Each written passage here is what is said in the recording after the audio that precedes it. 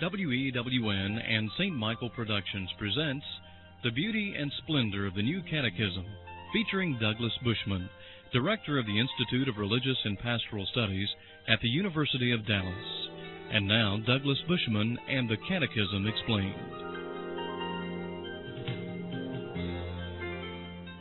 We want to continue today our reflection on the theme of witness as it's found in the New Catechism of the Catholic Church. In our last reflection, we looked at how the Catechism stresses that the witness of Christians needs to be one that combines both words and actions. And we ended by saying that there was a vertical dimension to witness, that is, a fidelity to God, and a horizontal dimension to witness. Witness is given out of the motive of love of neighbor by which one presents for that person in one's own life and words the truth of the gospel of Jesus Christ, so that those that we love can be set free by this truth. Perhaps one of the most straightforward and strongest statements on witness found in the Catechism is Article 1816. Here we read, The disciple of Christ must not only keep the faith and live on it, but also profess it, confidently bearing witness to it, and spread it. And then quoting the Second Vatican Council, 1816 continues, All, however, must be prepared to confess Christ before men, and to follow him along the way of the cross, amidst the persecutions which the Church never lacks. Service of and witness to the faith are necessary for salvation, and the Catechism to support this uh, assertion quotes Matthew chapter 10 verses 32 to 33. So everyone who acknowledges me before men, I also will acknowledge before my Father who is in heaven. But whoever denies me before men, I also will deny before my Father who is in heaven. So the service of and witness to the truth are necessary for salvation. But I would like to comment on this in terms of what we ended with in the last reflection. That was that the motive for witness is love love of God and love of neighbor. And we're going to develop this in terms of what the Catechism says about martyrdom. In Article 2473, we read Martyrdom is the supreme witness given to the truth of the faith. And as perhaps everyone knows, in Greek the word martyr means witness. It means bearing witness even unto death. The martyr bears witness to Christ who died and rose, to whom he is united by charity. He bears witness to the truth of the faith and of Christian doctrine. He endures death through an act of fortitude. And then, quoting St. Ignatius of Antioch, Article 2473 ends Let me become the food of the beasts, through whom it will be given me to reach God. Martyrdom is a supreme witness given to the truth of the faith. To be a martyr means to pose an unambiguous, an unequivocal sign of the fact that God and His truth are greater than we are, and that God and His truth have a claim on our lives. The martyr is the person who has discovered the goodness of the truth, who has discovered that this truth is the pearl of great price, for which, in order to possess, it is worth selling everything else. And the martyr sells even his own life in order to possess this truth and to remain faithful to it. What could possibly give the strength what the Catechism has called the fortitude that is required to endure the loss of one's life in order to remain faithful to Jesus Christ. Love is the only power, is the only force powerful enough to enable a person to override the natural instinct to preserve his life in order to preserve a higher form of life, the life that comes from communion with God. I heard a priest once say that there is a fear which casts out all other fears. There's a fear that is so great that it can override every other fear in one's life. And this is the kind of fear which is the fruit of love. Anyone who is loved knows that to love makes a person, if I can say it this way, vulnerable. Parents who love their children fear that evil things might happen to their children.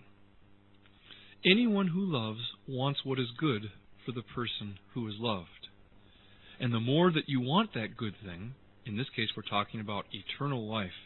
Life in communion with God based on the truth that Jesus Christ has revealed.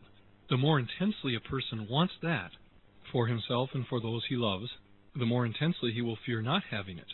The more intensely he will fear that it not come about, and that the people that he loves, whether it's himself or others, will not enjoy the happiness and fulfillment that comes from being united with that good thing, that will come with the freedom of the truth of Jesus Christ.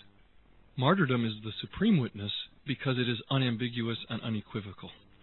Because in martyrdom, a person sacrifices the ultimate good, viewed at from a, a merely human point of view, that is life itself, in order to remain faithful to God. In Article 2474, following what we've just read on martyrdom, the Catechism writes The Church has painstakingly collected the records of those who persevered to the end in witnessing to their faith. These are the acts of the martyrs. They form the archives of truth written in letters of blood. Very beautiful expression. But Article 2474 complements Article 2473 in a beautiful way, in which we've seen that witness requires both an action and words for those many martyrs whose circumstances were such that they gave actions only without words to give us the meaning of their actions, it's as if the church supplies the words to make clear and unambiguous what the meaning of their death was. It was, in actuality, a fidelity to Christ and to His truth. As we said then, just as the motive of martyrdom is charity, so also the motive of all who give witness needs to be charity. Though the Catechism has stated that it is an obligation to give witness, and that service of and witness to the faith are necessary for salvation, the Catechism does not intend that this be an obligation by way of precept only, but it be an internal obligation, so that in giving witness there is a threefold fidelity a fidelity to God, fidelity to the church which transmits the teachings of Jesus Christ, and a fidelity to oneself. This is based, of course, on Galatians 2:20. For I live now no longer I, but Christ lives in me. The obligation to bear witness does not come from without, but is an internal compelling because of this communion with Jesus Christ in the truth. The martyrs bear witness to this simplicity of the Christian life, to this communion, and to this new identity which they've taken on. All of us are called to be martyrs. As we know, one of Mary's titles is Queen of the Martyrs. Is this not the way of tradition to draw our attention to what is most formal and essential about martyrdom? Martyrdom is the outward action that gives witness to and is a sign pointing towards the interior death to oneself, which has resulted in a communion with Jesus Christ in the truth. Mary, Queen of the Martyrs, we have no record of her having died a martyr's death outwardly, but inwardly, like her son, she conformed her life to the truth that she heard from God. She died to herself in order to live by doing God's will. She made God's will through her obedience her food for living, the living of her spiritual life, of course. And so Mary, as Queen of the Martyrs, points toward that which is most essential and formal about martyrdom. It's the interior identification with Christ and that interior fidelity to the truth, based on and motivated by love, which is the life giving force, the strength, and the courage to forego earthly life for remaining in communion with Christ for eternal life all of us are called to this type of witness. And so the Catechism quotes a passage from the Second Vatican Council's document on the missionary activity of the Church. I read in Article 2472 of the Catechism All Christians, by the example of their lives and the witness of their word, wherever they live, have an obligation to manifest the new man which they have put on in baptism, and to reveal the power of the Holy Spirit by whom they were strengthened at confirmation. A final text on our theme of witness comes from the fourth section of the Catechism, that is, on prayer, and it's Article 2685. And here we see the Catechism's very practical nature. The authors of the Catechism know that the first witness that people experience in their lives comes through the family. I read, The Christian family is the first place of education in prayer. Based on the sacrament of marriage, the family is the domestic church where God's children learn to pray as the church and to persevere in prayer. For young children in particular, daily family prayer is the first witness of the church's living memory as awakened patiently by the Holy Spirit. This is a very beautiful expression that family prayer is the first witness of the church's living memory as awakened patiently by the Holy Spirit. That can apply to many other elements of family life. The way that husbands and wives love one another is the first witness to children of Christian love in daily circumstances and events. The way that parents uh, celebrate the sacraments is the first witness that children are going to receive with regard to sacramental life. The way that parents exercise stewardship over their material goods and their property, the way that they vote, the way that they conduct themselves in their economic and political life, and we could go on and on and on. In so many respects, the family, which is the fundamental cell of society and also of the church, is the first witness that each generation of Christians is exposed to with regard to this great good, which is the truth of the Christian faith. So we've seen through a, a long series of texts how important this theme of witness is in the New Catechism of the Catholic Church. And I'd like to attempt, by way of conclusion, to suggest that this importance of witness simply continues in the Church of today, a pattern which was established on the birthday of the Church, that is, on Pentecost. We can see the pattern of Christian witness very clearly if we reflect on exactly what happened on the day of Pentecost. The event of Pentecost begins with a very powerful manifestation of the Holy Spirit in the form of wind and tongues of fire, and also in the form of the fact that people who spoke many different languages were able to hear the message of the apostles in their own native tongue. Now, all of these outward signs, these actions, drew the attention of the crowd which assembled, and therefore the crowd had some questions what's going on here? And a dialogue began. It was a dialogue that began with the initiative of God, with these external signs. And the people posed a question. The question was Isn't it a little bit early in the day for these men to be so drunk? You remember, that was their way of trying to understand what was happening. We might say theologically, they attempted an explanation of the event in natural terms only. But this gave rise to a long discourse on the part of St. Peter. And the first thing that he does is he says, No, there is no natural explanation for what is taking place here. This event can only be explained in terms of God's activity. In fact, it is the Holy Spirit promised by God Himself in the prophet Joel. And so St. Peter is reported as having read a passage from the prophet Joel and said that this passage now has come to reality. It is fulfilled in your very midst. But notice that already the first thing that Peter does is identify what the source is for an outwardly visible action. And he gives God the credit for it. He points to its transcendent cause. That is, it's the Holy Spirit. But then Peter takes another step. This action, the events that are happening right now, certainly are the fruit of the Holy Spirit. But the Holy Spirit Himself must be connected with the sacrifice of Jesus Christ. And so Peter goes on to make that connection. As our Lord Himself said in chapter 7 of John's Gospel, Let anyone who is thirsty come to me. Let anyone who believes in me come and drink. As Scripture says, From his heart shall flow streams of living water. Now, it's as if John understood clearly that this would be a very difficult passage for people to comprehend, and so he provides for us a little explanation. In verse 39 of chapter 7, he writes, He was speaking of the Spirit which those who believed in him were to receive.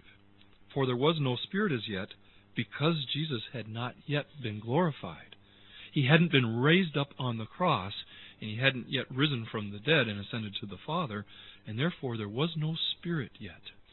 Our Lord Himself made the connection between His sacrifice and the coming of the Holy Spirit very explicit in chapter 16 of John's Gospel, verse 7.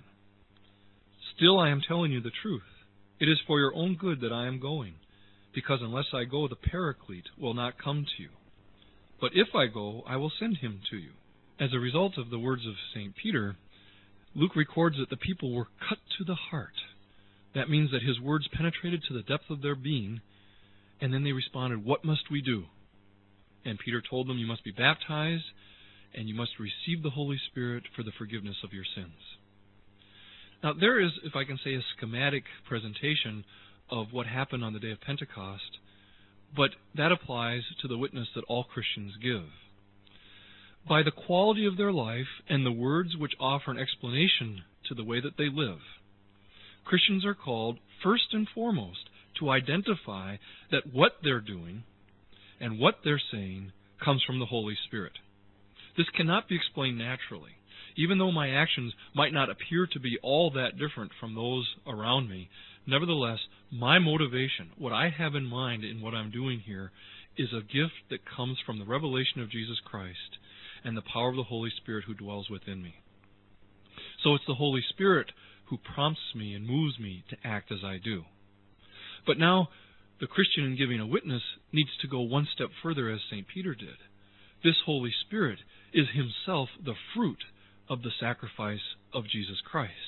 And that's why all Christian witness is simultaneously a witness to the Holy Spirit and His power living among us and transforming our lives on the one hand, but also to the death, resurrection, and ascension of Jesus Christ. For it's by His passing over to the Father that Jesus is able to send the Spirit into our hearts. So a complete Christian witness actions with words, comes to its fullness when we celebrate the Holy Eucharist, the sacrifice of Christ, which was and remains for the church the great act of Jesus Christ by which he brings forth the power of the Holy Spirit and sends the Spirit upon the earth. All of our actions and all of our words take on a fullness of meaning in the context of the Holy Eucharist. And now we can understand those passages that we read earlier on in a prior reflection that said that the fruit of the liturgical celebrations of the church is precisely this bearing of a witness to Jesus Christ. We must bear witness to Christ in our lives because it's the Holy Spirit whom we receive in all of the liturgical celebrations of the church and the sacraments. But the Spirit Himself bears witness to Christ, points to Christ and His sacrifice as the very source of the outpouring of the Spirit who transforms our lives. I think that it's in light of this development of the theme of witness that we've just completed that we can better understand another theme that the Catechism develops, and that is the theme of scandal. And the Catechism presents its most lengthy treatment of the subject of scandal, beginning with Article 2284. We read, Scandal is an attitude or behavior which leads another to do evil. The person who gives scandal becomes his neighbor's tempter. He damages virtue and integrity. He may even draw his brother into spiritual death. Scandal is a grave offense if by deed or omission another is deliberately led into a grave offense. Here we see that scandal is precisely the opposite of witness.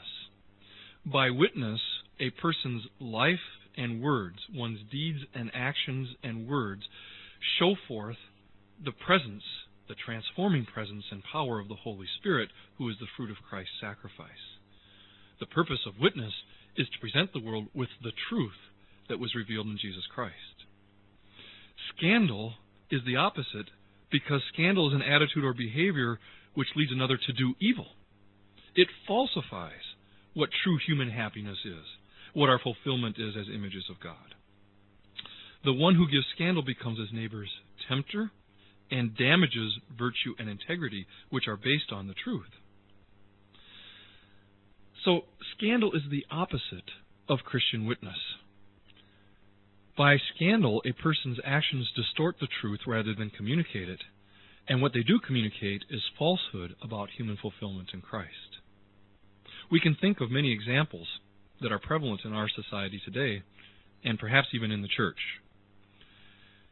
This would include actions and words that make evil appear glamorous actually that make evil appear as a good. For example, we think of slow motion cameras that are used in making films that glamorize the pleasures of the body, sexual pleasures, or even the way that sports can be blown out of proportion by glamorizing the thrill of victory and the response of many, many people to an extraordinary athletic feat. Now, in this case, it's not that athletics or sports are evil in themselves, but by overly glamorizing them, they can take on the lure of promising more fulfillment and more happiness than they can ever deliver. Scandal can also happen by making light of fundamental responsibilities. For instance, when a group or a teacher should play down the importance of the obligation to seek the truth and to assent to the truth once it's discovered and to live according to it. Think of what happens in a situation when uh, a person is in a group that's contemplating doing something that presents a conflict in that person's conscience, an individual has the original, the initial courage to say, I'm not sure that we should do this, and then the crowd responds by saying, Oh, lighten up. Don't rain on the parade. After all, is this really so bad? When teachers, when catechists, when homilists undermine legitimate authority, for instance, the teaching authority of the Pope or the bishops, when they undermine it by belittling it or by making it appear as in some way contradictory with regard to right reason, opposed to reasonableness, then such people are creating an environment in which a person feels that he or she has to choose, on the one hand, between being faithful to the church and the church's teaching authority, and on the other hand, being faithful to reason, which is also a gift from God. How could two gifts from God be opposed in such a way? Indeed, they cannot be, but it seems that many people are presenting this dilemma for many of the faithful. This is why the Catechism goes on in Article 2285 to teach that scandal takes on a particular gravity by reason of the authority of those who cause it, or the weakness of those who are scandalized. It prompted our Lord to utter this curse Whoever causes one of these little ones who believe in me to sin, it would be better for him to have a great millstone fastened round his neck and to be drowned in the depths of the sea. Scandal is grave when given by those who by nature or office are obliged to teach and educate others. Jesus reproaches the scribes and Pharisees on this account. He likens them to wolves in sheep's clothing. The Catechism goes on in Article 2287 Anyone who uses the power at his disposal in such a way that it leads others to do wrong becomes guilty of scandal and responsible for the evil that he has directly or indirectly encouraged. Temptations to sin are sure to come, but woe to him by whom they come. This is how the Catechism closes Article 2287, quoting Luke chapter 17, verse 1. An example of scandal that the Catechism gives comes in Article 2291, and it shows that this is a catechism for our own times. We read, The use of drugs inflicts very grave damage on human health and life. Their use, except on strictly therapeutic grounds, is a grave offense. Clandestine production of and trafficking in drugs are scandalous practices. They constitute direct cooperation in evil since they encourage people to practices gravely contrary to the moral law. What the Catechism teaches about scandal, which I have presented as the reverse and the opposite of what it teaches about witness, is based upon the Catechism's teaching regarding the social nature of the human person. In Article 1702, we read, The divine image is present in every man. It shines forth in the communion of persons in the likeness of the union of the divine persons among themselves. And then in Article 1879, we read, The human person needs to live in society. Society is not for him an extraneous addition, but a requirement of his nature. Through the exchange with others, mutual service, and dialogue with his brethren, man develops his potential. He thus responds to his vocation. But he also affects those around him. And this effect can be either good, through Christian witness, or evil, through scandal. And so the Catechism shows that there is much more at stake in our actions than just our own well being or our individual salvation. Every action done by a Christian, done out of faith, hope, and charity, can be used by God as a witness through which the gospel can show the power of its truth and radiance before men. That is, the power to draw men to the faith and to God, as we read in Article 2044. And in this we see yet another reason for the importance of a passage we've seen in a prior reflection, that is Article 828, where quoting John Paul II, the Catechism writes, The saints have always been the source and origin of renewal in the most difficult moments in the Church's history. And the reason for this is because the saints live in communion with God and make His goodness present to those around them through the life and the actions and the words of holy men and women and those striving for holiness. A great sign is posited by which the church, which is the great sign and sacrament of salvation, continues the mission of Christ in the world today. If you would like this entire catechism series on 13 audio tapes presented by Douglas Bushman, or if you'd like to write to Douglas Bushman, please write to St. Michael Productions, P.O. Box 168485, Irving, Texas 75016 8485. That address again is St. Michael Productions, P.O. Box 168485, Irving, Texas 75016 8485. If you'd like a copy of today's cassette program, please specify tape number 110. Thank you for joining us today for the Catechism Explained with Douglas Bushman.